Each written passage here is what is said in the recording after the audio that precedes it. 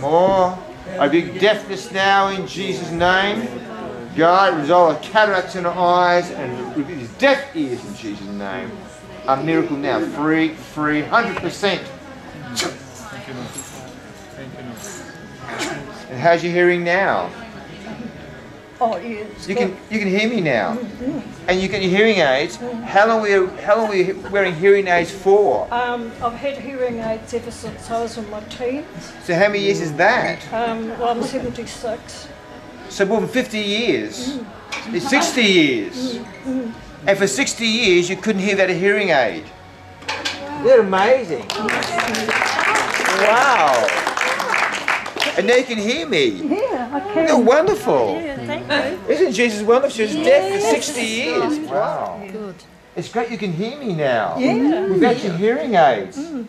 60 years. Amazing. Yeah. Isn't God good?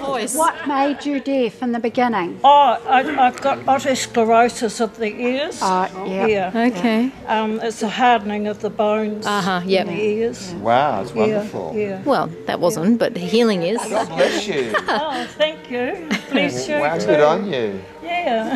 You coming do anything. I can do all things.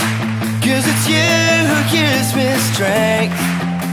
Nothing is impossible.